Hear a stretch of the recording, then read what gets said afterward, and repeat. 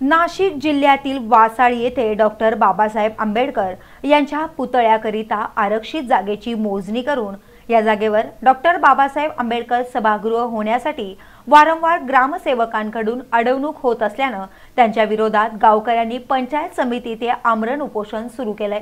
वासाळी गावाच्या विकासासाठी समाज मंदिर बांधण्यासाठी सचिन सीताराम कासार यांनी मालकीची साठ बाय चाळीस फूट जागा शंभरच्या स्टॅम्प पेपरवर गावकऱ्यांना दिली आहे.